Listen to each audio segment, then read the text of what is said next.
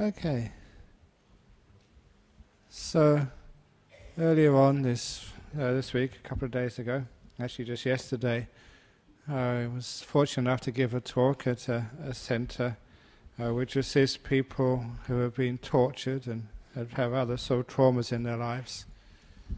And uh, it's interesting being able to give talks at so many different locations on different subjects. But there was a very nice question which was asked at the end, and uh, it was coming uh, from a person who has a very strong faith. And it was saying that when such things happen, you know, do Buddhists actually lose their faith? And do they? Um, how do you restore their faith, you know, in their religion, in their spirituality, when some of these terrible things happen in life? And you know, do people lose Buddhists uh, lose their faith, or do they blame it on karma? What happens when tragedies or traumas or even torture hits you?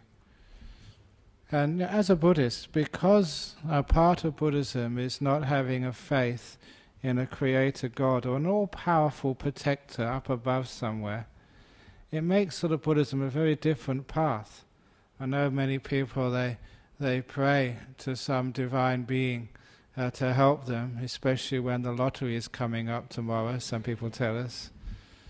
Or they pray for other things, and especially in times of difficulty and trouble, sometimes people who go to church or a synagogue or a mosque or even to some Buddhist temple say, I've been going to these places all this time. I've been keeping all the rules, giving donations. Why do these things happen to me? And sometimes people do lose their faith. But as a Buddhist, when these things happen, because we don't put our, our confidence in our destiny in the hands of an external being, we realize that our destiny is in our own hands. And it's a very big distinction between Buddhism and the theistic religions.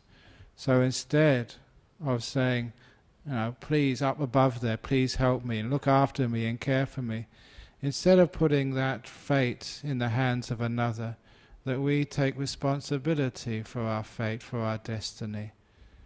It's something which does distinguish Buddhism. It makes it harder in the sense that you know that when you realize that you are responsible for your future and for your happiness, from your suffering, from your prosperity or from your misery, you're responsible for that.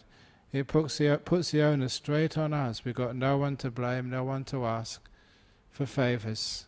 We can ask other people to guide us and give us tips, but this journey is our journey, and we have to take responsibility for it. It's a tough call because people like, you know, to have a mother or a father you can uh, go to for assistance. Unfortunately, the real world is the fact that you are in many situations on your own. But it doesn't mean it's hopeless because instead of having a divine force which will protect and guide us, you know, we have our wisdom, our own inner divinity, if you like. Our wisdom, our compassion, our understanding of our nature and the nature of this world. And especially that, uh, well, I've already mentioned the Buddhist law of karma. It's also when such difficulties happen to you, it's always not correct to say, This must be my karma.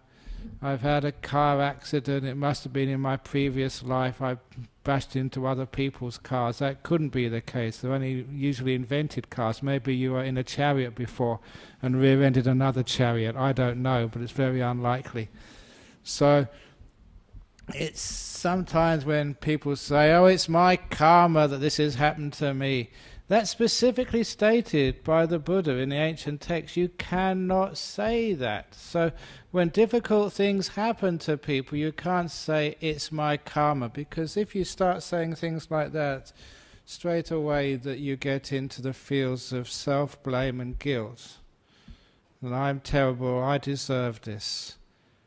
And of course, you all know that that is a very common response to people who've been tortured or raped or beaten who think that I deserve this.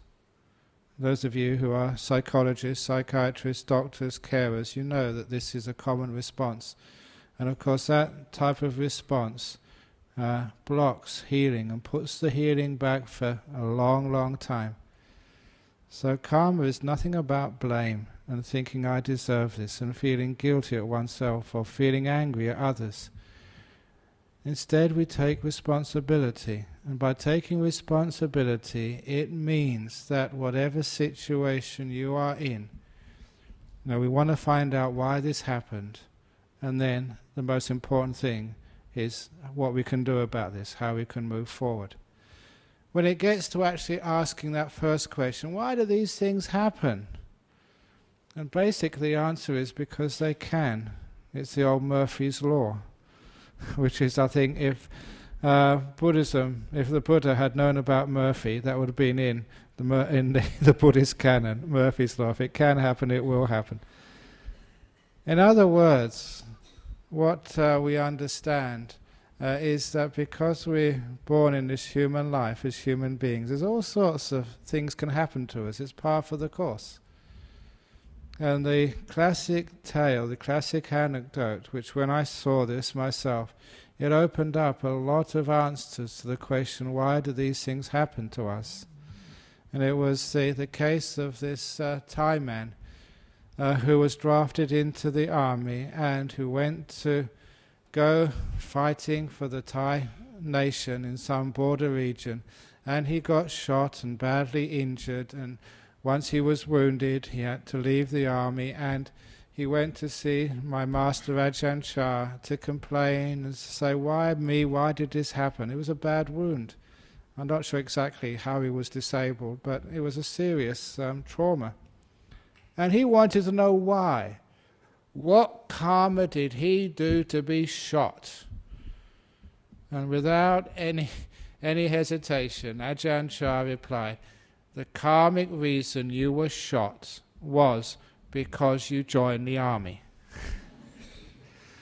now, it wasn't being flippant, because these great monks and nuns, they're not flippant. They're not just telling jokes just to amuse people. Behind every joke, there's actually a message there. There's a truth. And the message was that when you do join an army, you'll be shooting bullets at other people. And so you can expect other people will be shooting bullets at you as well. Most of those bullets will miss. However, some bullets will hit. And you've been one of those soldiers who has been hit. This is what happens when you join an army. And that particular um, scenario was obvious, it made sense. But it was extended to the fact of being a human being, being alive in this world. Why did I get cancer? Why did I get heart disease when I've been eating good food and meditating and exercising? Why do these things happen? And it's because you've joined this human race. It's what happens when you're a human being. As I've said before, before you are reincarnated, you should have read the small print in the in the contract which you signed to get born. It meant number one, you can die at any time for any reason, either being hit by a truck or being killed in a tsunami or having cancer or all sorts of other things. You can die at any time. This is par for the course. This is part of being a human being. So, what it means is that this is our truth, this is our nature, this is what we've got ourselves into. So, we know this is happening, and once we're truthful about this, we know it can happen. It's amazing just what that particular truth, it's not because of somebody else, it's not because of this or that. We know that this is part of having this human journey. Once we understand that and accept it, we can actually just um, uh, make strategies to know it can happen and that it's not we're not exempt from these things then we can do our very very best to lessen our um, chances of having these tragedies. Once we know it's possible, this is par for the course, then we want to make sure that we reduce the opportunities we have for these terrible traumas and problems. And we can do a lot. And doing something to make sure that we lessen our chances for pain and suffering and difficulty is what the law of karma is all about. So we're trying our very best. We realize that we do have choices. And what we want to do is to make such choices that we limit the possibility of trauma and torture and pain and tragedy. So, you know, we do exercise, when we do try and eat well, we do try and do the very, very best, but even so, we know that that's not enough. Sometimes it just doesn't work. That's part of the course. All we're doing is increasing our chances. But it also means, and this is probably one of the most important parts of Buddhism, is that when that trauma and problems happen, we don't think, oh, it was my mistake, it's somebody up there's not looking after me. We don't get into the guilt and anger because the guilt and anger which comes when a person experiences pain, torture, suffering, or whatever, that type of guilt and anger again stops the healing happening. It just makes that pain stay for longer and longer and longer. I remember a couple, not sorry, a couple, a, a family uh, who, this is many, many years ago, so I don't mind talking about this family. She would be a regular at one of my meditation groups. And after one evening, uh, it was actually her friend said, You better talk to this lady because she's in a big trouble. When I talked to her after the meeting, her trouble was that she'd found out her husband had been sexually abusing her kids. Uh, the signs were seen at the primary school where her two kids were attending. It was uh, reported to the police. It was investigated. It was true. The father confessed. So there was a real big problem, huge problem for her and her kids.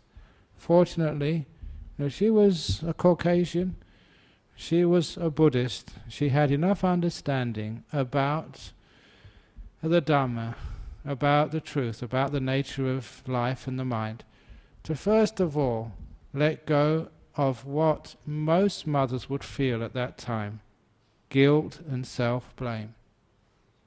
Because that's your kids. I should have seen the signs. Why couldn't I protect these people?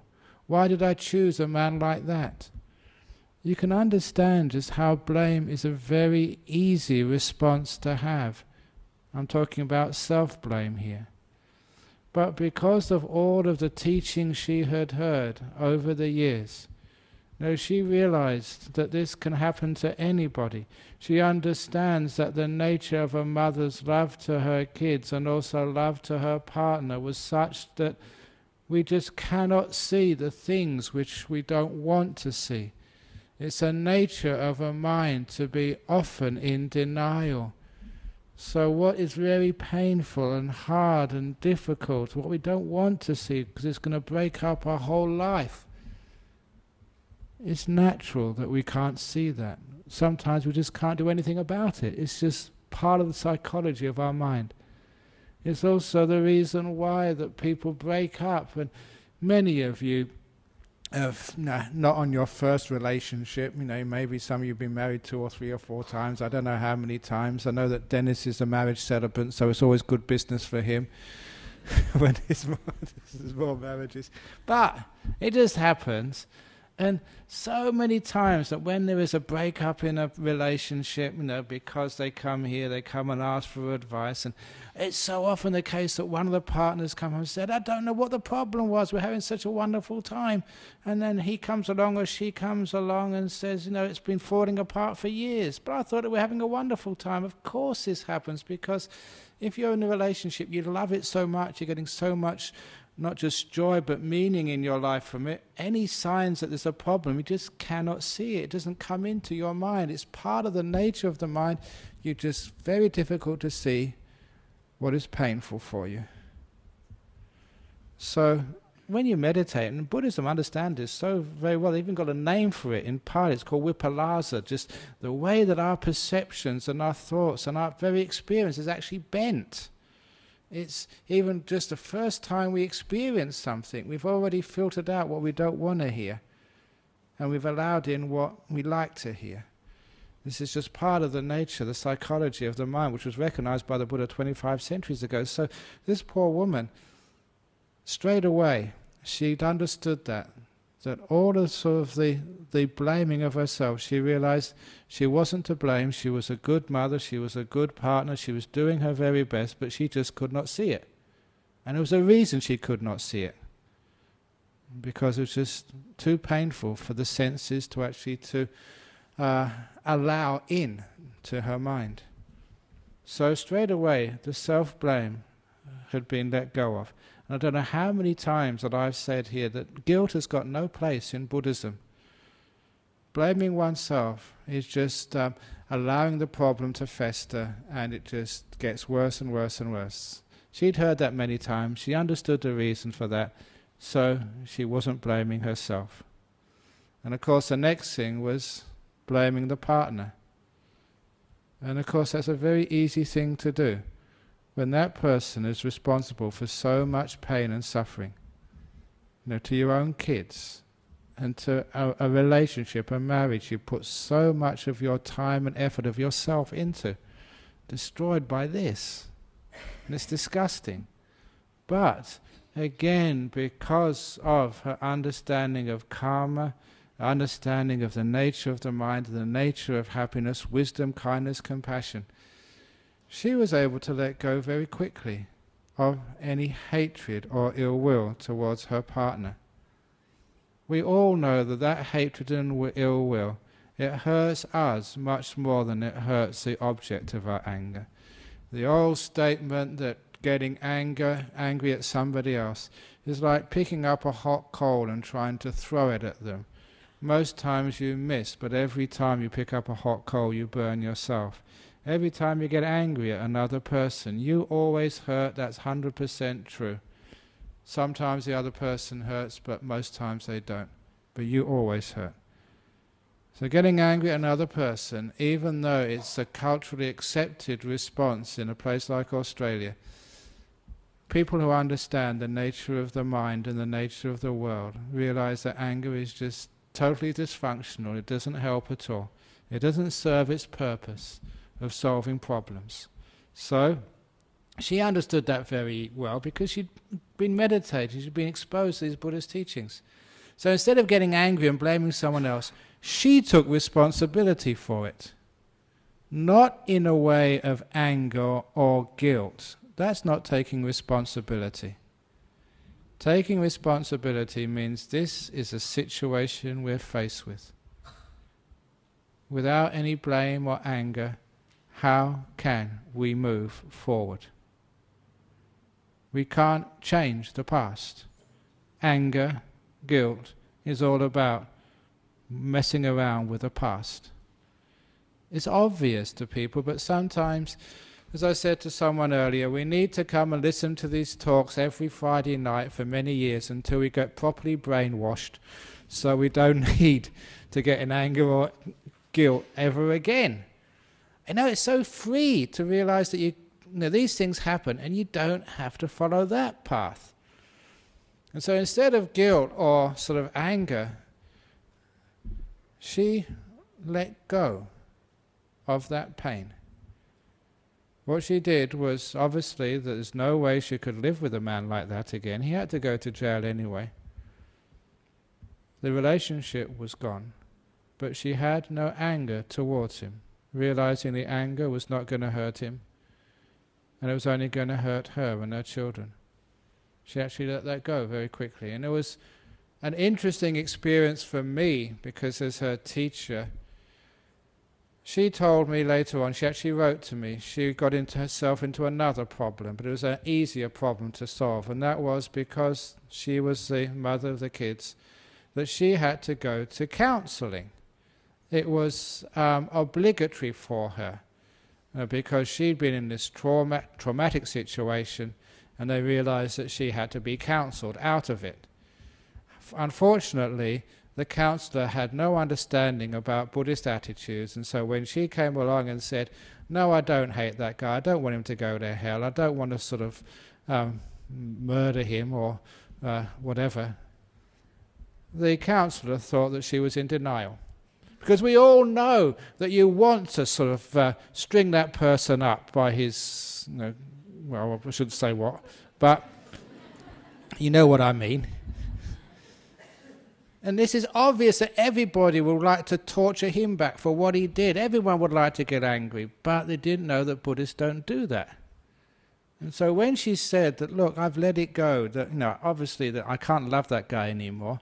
I, you know, obviously I think he's just a terrible guy and needs a lot of help, but I'm not going to get angry. I'm not going to have ill will against him anymore. And it needed me to write a long letter to the counselor explaining basic Buddhist principles before she was let out of the counseling sort of roundabout. Because you know she was in that catch 22 situation only when she admitted there was a problem that she could get released because there wasn't a problem she could not get released and so she was in that situation but fortunately the counselor understood and it was a wonderful experience to say this was a real person in a real trauma who had actually dealt with it in a beautiful way. And there was obviously there was follow up. Because that was many years ago. And even last year I got a Christmas card from the family. They moved to another place. They're doing fine. That's many, many years. It did actually work. And interestingly, because the mother just let go of anger and guilt very, very quickly, so did her two children. Because you notice how children will follow the lead of the parents. All children want is an example to follow. They've got a natural wisdom. They don't like hating people, but they can learn hate and revenge very easily from their parents. So it was wonderful that that mother could actually forgive. I don't mean forgiving, uh, uh, sort of approving. Please don't ever think that forgiving means of approving of bad actions. You really disapprove very, very strongly, but the forgiveness means I don't want that person to hurt anymore. Punishment is not my game. What I want is somehow to get that person to learn what they've done wrong, to make sure they never ever do that again. And maybe, hopefully, they can live a, a good life later on, but certainly to make sure those problems never reoccur. So that's nothing to do with anger or ill will. That's nothing to do with punishment. And that was a beautiful attitude, which meant that she could let go and move on. Because every time you want to punish, every time you have this terrible feeling of revenge, every time you think that justice means they've hurt me and I have to hurt them back, that means you're caught in that cycle. You're caught in the past. And some people I know are still caught in the past, wanting to punish people who've done terrible things to their family and friends people who have really tortured somebody close to them. And because they can't have that sense of understanding, of no guilt, no punishment, they can't move on and live a life. So each one of you have had some traumatic experience in the past. What that traumatic experience is, means that some of you have heard my jokes so many times, I think you deserve to go and get some counseling for torture. But, but whatever it is, that sometimes there you'll have a difficult situation. What we say in Buddhism that this is the ingredients of this moment. And what Buddhism says, what common sense told me many times, even before I understood Buddhism, this is what you got to face. Stop looking at the past and blaming why this came and say, what am I going to do with this? And the standard story, I'm going to talk to you again with an old simile, the truckload of dung simile. I mentioned this in the talk uh, uh, yesterday. The truckload of dung simile, or let's give it the proper word, when actually this is the title of the uh, the American version of my book, which somebody showed me again today to be signed. I wanted to call it "Who Ordered This Truckload of Shit," but in the United States you're not allowed to say that. But I don't know why. But I've said it here, and I often say that word because that's what you say at home and at work.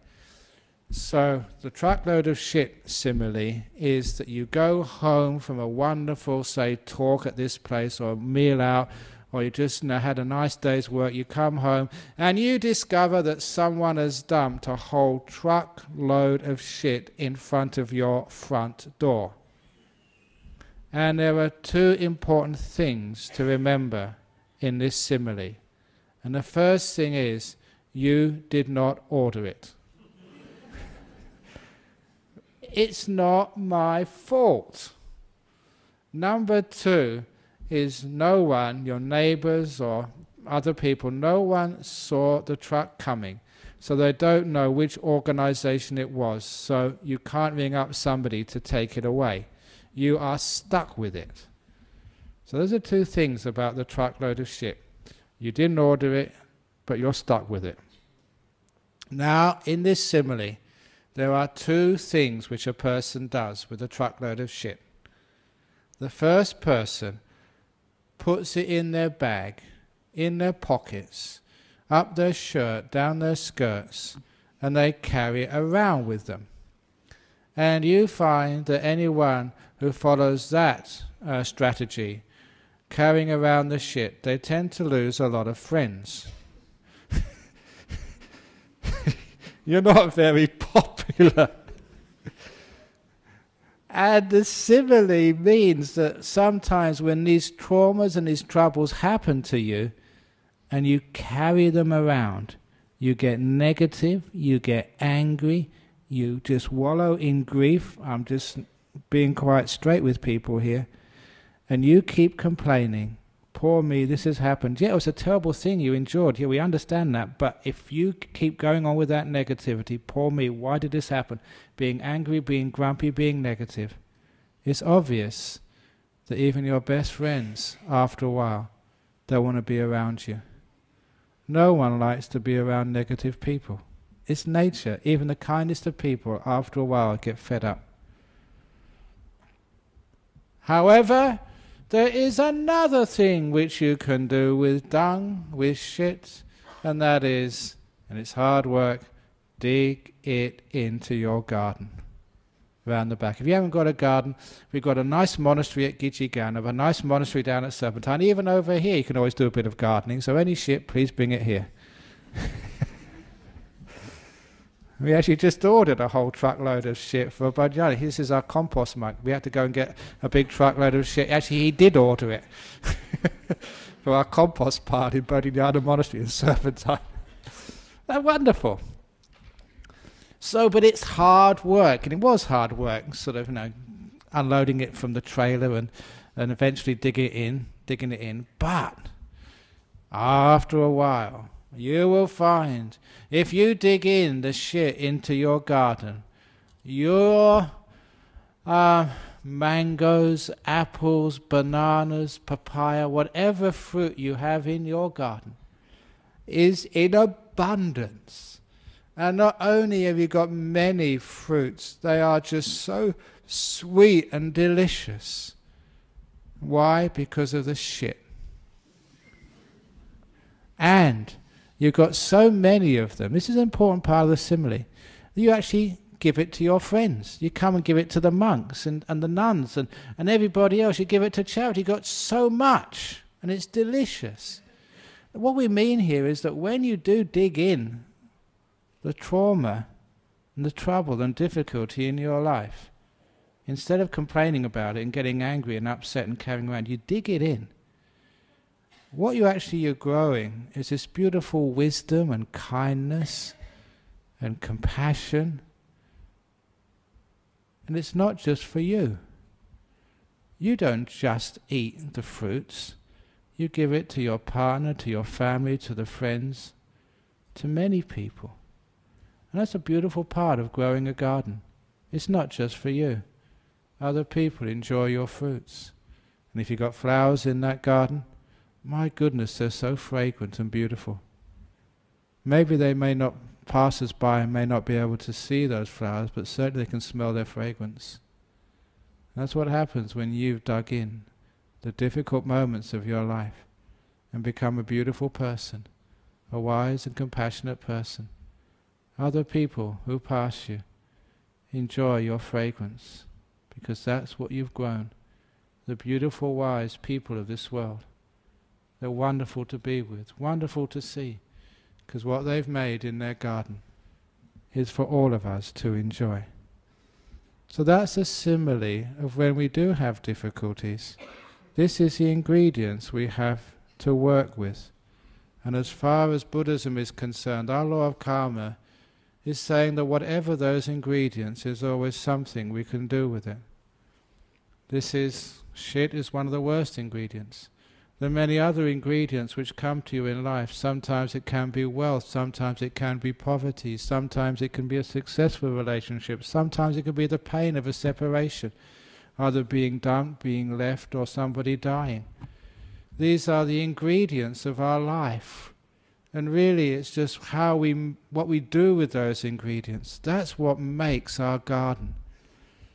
And the great thing is, you can do anything with any type of ingredients. And the law of karma says it's your responsibility to work with whatever ingredients you have.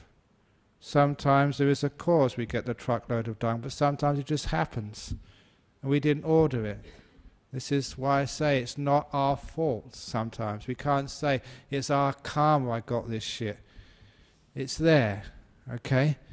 We're stuck with it. We can't find out why, but certainly we can start digging into our garden. Which means that straight away, in a trauma, a tragedy, any negative part of our life, we don't waste time in negativity. We have to get that wheelbarrow and spade out and start digging it in.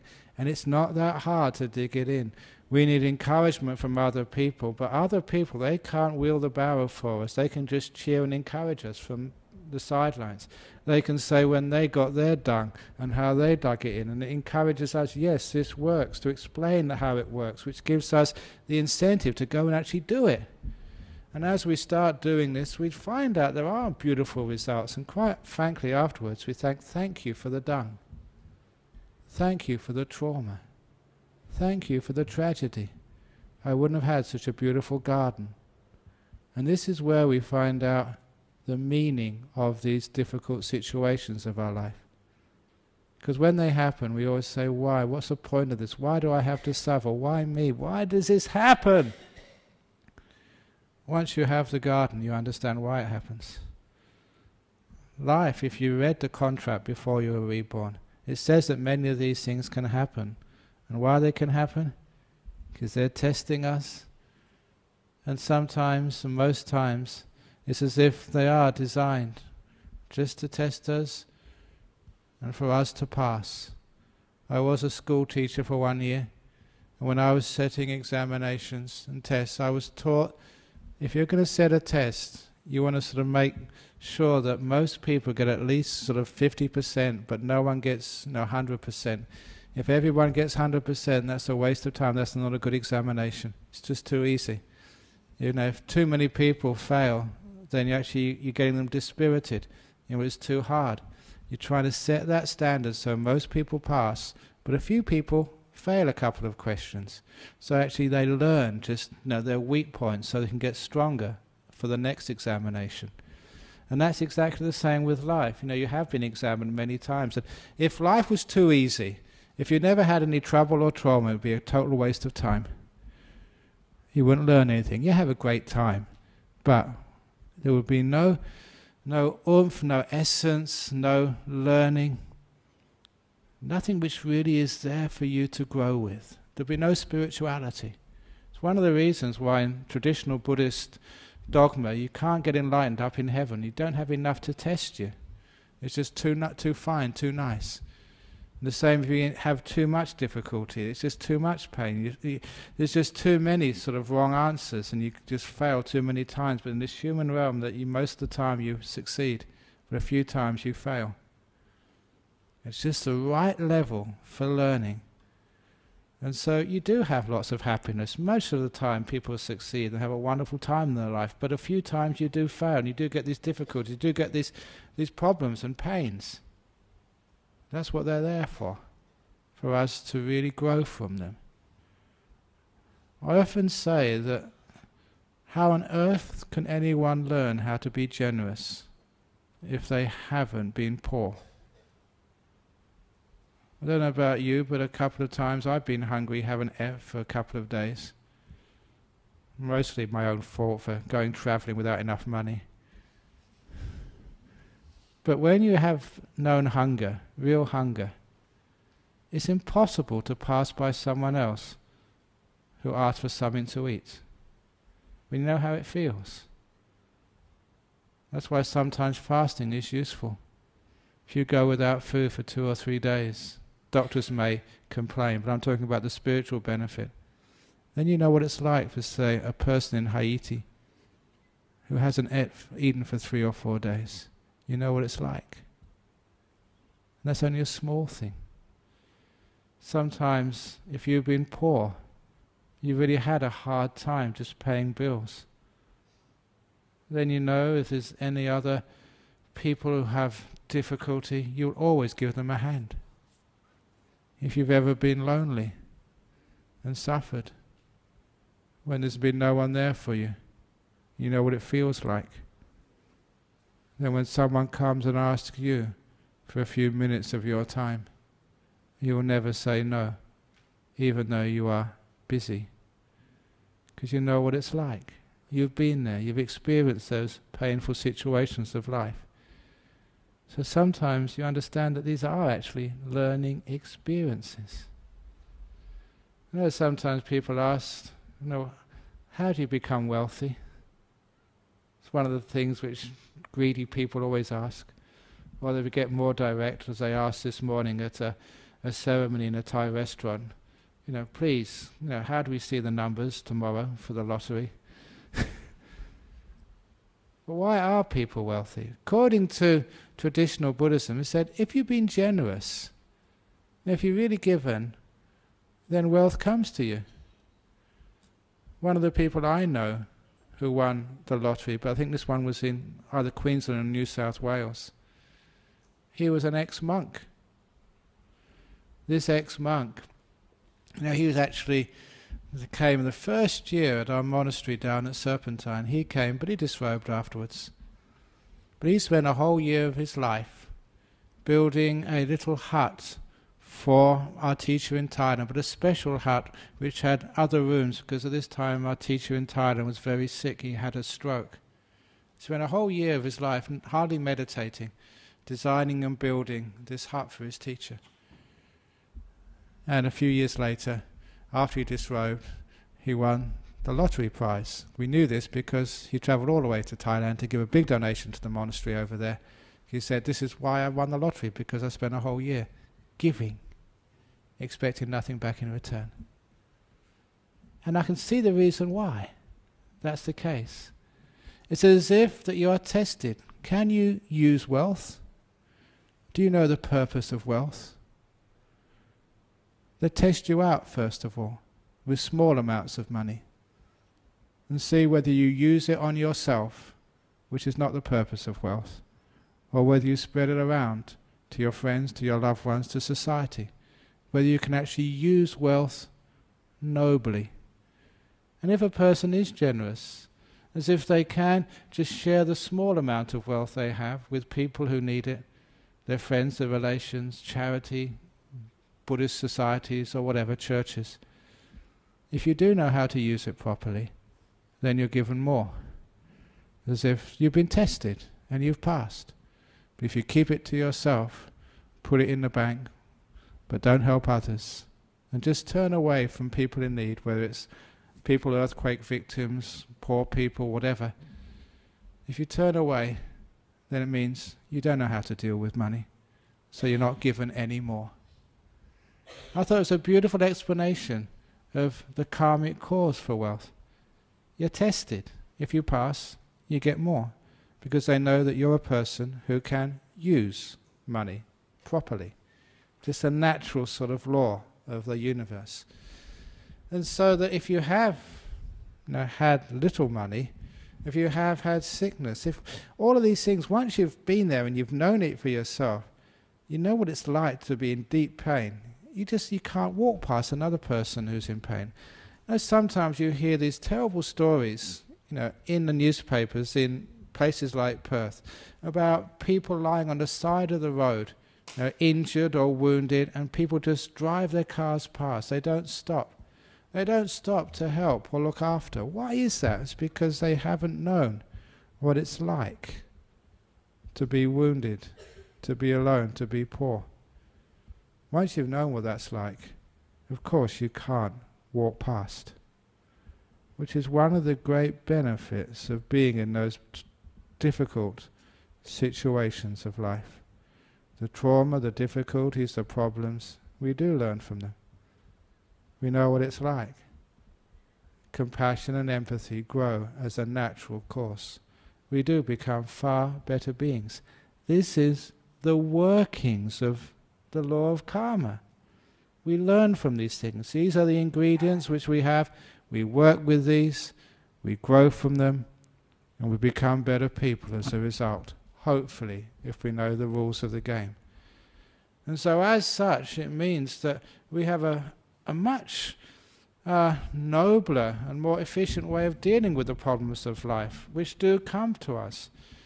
It means that we do need to see psychologists and psychiatrists less than the average person. That can save us a lot of money. I even remember just one of the traumatic situations which I was in, rec- no, not recently, it was quite a few years ago now.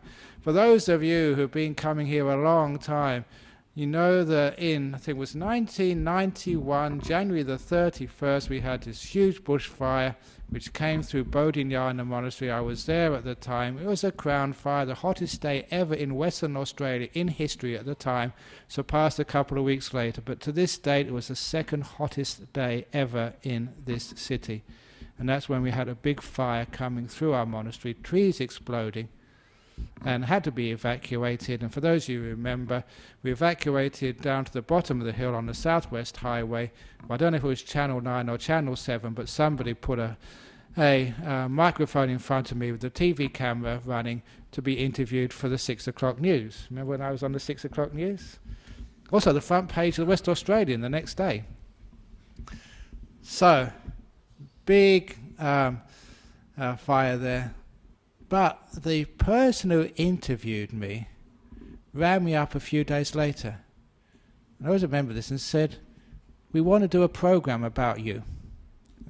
And I said, Why? He said, Because look, I've been interviewing people in these tragedies and traumas for so many years, and this is the first time I've interviewed someone who was so relaxed when they'd just been through a life threatening trauma.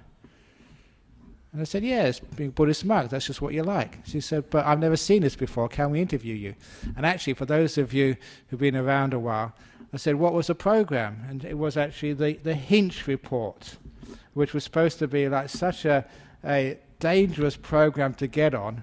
When I asked the people in the committee, said, No, don't go anywhere near that program, they'll tear you apart or whatever. I don't know, but I refused at the time. But a few weeks later, we got the some students coming up from Murdoch University who want to do a trauma study on us. Because this was a, a trauma, it's like the Toodyay fires. No, no one was actually killed, but you know, it came pretty close. And you know, they're asking all these questions. You know, do you have flashbacks? Do you have dreams of fire? Do you have smokes? I said, no, no, no, no, no. And they were very disappointed because it just you went trauma there. And you say because you were a Buddhist monk, these things actually work. Yeah, there was a life-threatening situation, and all your things were destroyed, but you just let it go. It's the past, and instead you were focusing on rebuilding the monastery and getting all the infrastructure back in, and just carrying on. And those things like that actually showed me that there is a real other way of dealing with the difficulties and traumas of life. We learned a lot about fire safety there. In fact, you know, the local rangers, they look upon us as, as examples. They take other people. I, th- I just saw this, I think, in 2004 or something. You know, FESA, this is you know, the Fire and Emergency Service of Australia, they gave us a prize, a certificate. I think it was Michelle Roberts at the time, came to present it to the monks at Bodhinyana Monastery for our, our fire safety stuff. And look, this is actually what happened once. Once the local ranger of our shire decided to do a spot check on us on our monastery, you know, because to make sure we had everything going. And it just so happened that all the monks were in our fire suits, we had the fire things going, we were doing a drill. it was true. And this ranger said, Did you guys know I was coming? I said, No, no, no, no, no. and they were in the middle of a drill, and he did a spot check. So, you know, we monks have just got it together. So that we learn just from that experience, you know, how to make sure our monasteries were safer. So all of these so-called traumas, we don't sort of look upon these things as as things which hold us back in the past. We learn from them, and actually, a lot of times we tend to sort of welcome them. It's part of life. Getting shot by bullets is part of being a soldier. You know, part of having a relationship is the difficulties you have with each other, where you're really challenged. Just how strong is your commitment to one another when those difficulties happen? Hopefully, you are strong enough to be there, to learn, and come closer together. Not only learn about relationships, but learn about you, how you work, and how other people work. To learn how to forgive. Because remember, in a relationship, you've chosen that person. They're special for you. If you can't forgive them, how can you forgive other people, just the ordinary Joes you haven't chosen? so it's a test. Rise to that test. Learn from it. Grow from it. It's amazing just what a person you'll turn out to be.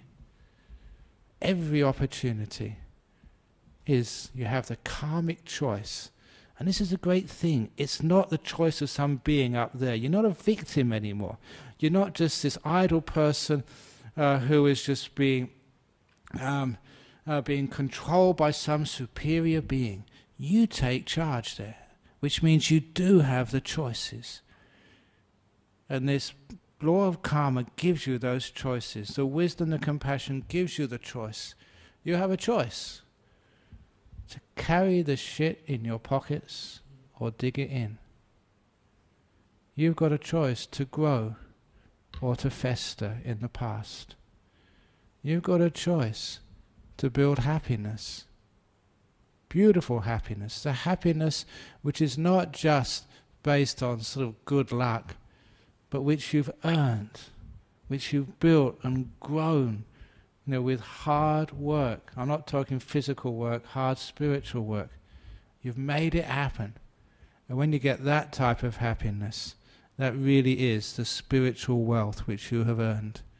You really are a compassionate, wise person. You are a great benefit to anybody who knows you, who comes close to you. That was worth it. Sure, you've had a hard run, a difficult life, but in those later years of your life, what other people may be just worrying about their death, worrying about their superannuation, whether you've got enough to survive, worrying about the stock market, you are not worried at all. You have your spiritual wealth. You built it up. I often joke, a monk, uh, I don't know, only a few years away from retirement. I've got no super. I've got no shares. I've got no money squirreled away. I've got no assets. Just even this afternoon, I got one of these healthcare cards for low income. and I just filled it in today and got our secretary to sign it earlier on today. And it's I love actually filling out those forms because they say just how much income do you have? Zero. How much shares? Zero. How much superannuation? Zero. How much do you get from rent? Zero. Zero, zero, zero, zero. and it comes to zero. I've got absolutely no material assets. But I'm wealthy. My assets are the spiritual assets. I've got all you friends. You feed me every day. You clothe me. You give me bars of chocolate, so many that I just don't know what to do with. Except maybe open a chocolate shop. so that's my spiritual wealth. And I know that you know, for the rest of my life, I'm going to be well looked after. I don't need superannuation. I've got super karma. this is that spiritual wealth, but you've done it hard. We did work very hard and did endure and did do a lot of hard work. And still continue to do that. But when those things happen, great, more shit for my garden. And that's actually a beautiful way of looking at life. We had the stuff about the bhikkhuni ordination, which I think is, why did that happen? Did something beautiful? Or ordained women. What a wonderful thing to do. But when shit comes, thank you so much. More for my own garden. So you can actually grow in more forgiveness, understanding, more wisdom, more knowledge, more spiritual wealth. That's the meaning of this life. So when trauma, tragedy happens, you do have a choice. You're not such a victim. You have an opportunity. And later on in life, if not already, I hope you understand why these things happen to you. They happen to you because the life thinks you can deal with it. You may sometimes think you can't, it's just too much to bear. Never think like that. You can. If you want encouragement, come and see like monks like myself or my other, other monks or the nuns who give you lots and lots of examples of people who had it even just worse than yourself, but managed to grow. It's wonderful to see other examples. It can be done, it has been done. It just encourages you that, yeah, I can do it as well. And you dig in a little bit every day. Every day, just one day at a time, one moment at a time. You just wake up one morning, the shit pile is gone. And you've got this incredible, beautiful garden. And then you say, wow, whoever it was who dumped that truckload of shit, thank you so much. and that's the talk for this evening. Hope you enjoyed it.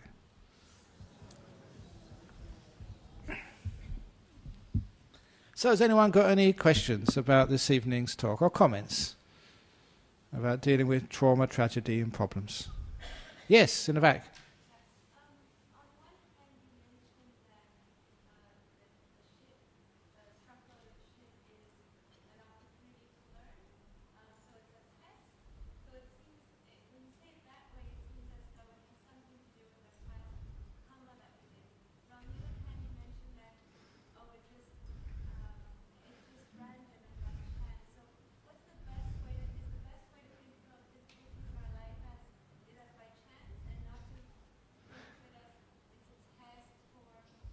Yeah. Okay, you're just saying about when these things happen to you, the question why it happened. Is it because it's a test and it's a great opportunity, or is it because of some bad karma we've done in the past? Again, I was warning in the beginning of the talk against thinking it's some the result of some bad karma. In a very simplistic sense, you've done something wrong and this is your punishment. I'm now going to be punished because now I have hay fever, so sometimes it must have been because I, I must have punched somebody in the nose when I was very young, so I've got a bad nose now. and that's a simplistic and it's a stupid way. You can t- tell jokes like that, but it's not really sort of meaningful. So instead, you know, you don't sort of get into this guilt and punishment business. This is a punishment for something I did in the past. Never ever think like this. It's not a punishment, it's an opportunity. So that's what I mean by the karmic thing. If it's a punishment for something you did in the past, again, it opens up this terrible sense of lack of self worth. I've been raped, I've been physically abused. I must be such a terrible person. And of course, there are many people get into that, that hole of lack of self esteem, thinking they're a victim because they deserved it. And that's common it's terribly, unfortunately, common that people blame themselves that way. They're not even Buddhists and they still think it's their karma, this happened to them. And of course, that is not helpful at all. So that's what we try and sort of brush aside, try and explain away. That is not how it happens. And actually, sometimes one of the things they said at this talk one of the useful things about having an authority, having a senior monk, a senior nun, a teacher, is because we have the authority to actually to convince maybe traditional or cultural Buddhists who think that way. You may try and explain that's a stupid way, that's not Buddhism, but they won't listen to you. But you know, when you've got a big monk or a big nun comes along and sits on a high seat in front of everybody, and I say it said, "Oh, it must be true." Ajahn Brahm said it's true. So I mean, obviously that's a dangerous thing, but sometimes you can exploit that to people's advantage, so they don't think in that particular way anymore. Does that sort of answer the question? Okay, thank you, Daniel. Any other comments or questions about this evening's talk before we move on? Oh, yeah.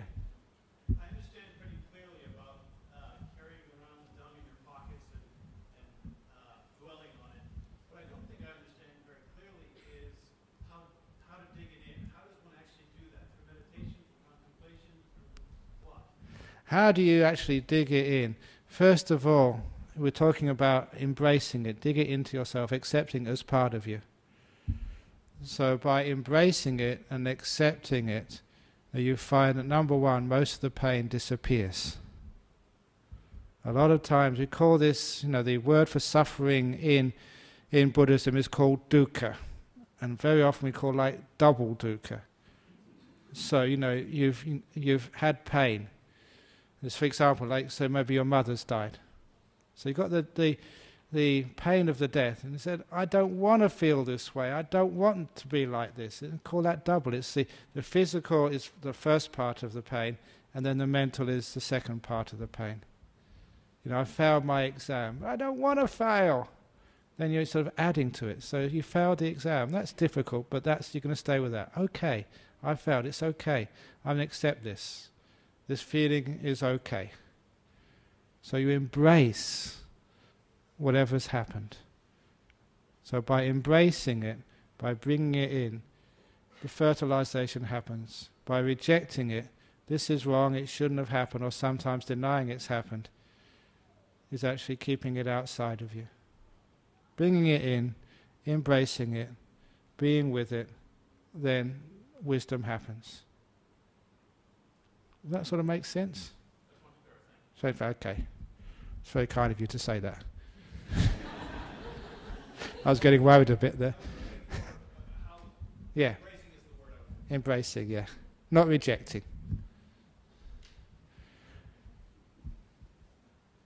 Okay, because we learn how what it feels like. When you learn what it feels like, you can see it in other people, and then you can empathize with them. Okay, I think that's enough for this evening, so thank you all for listening.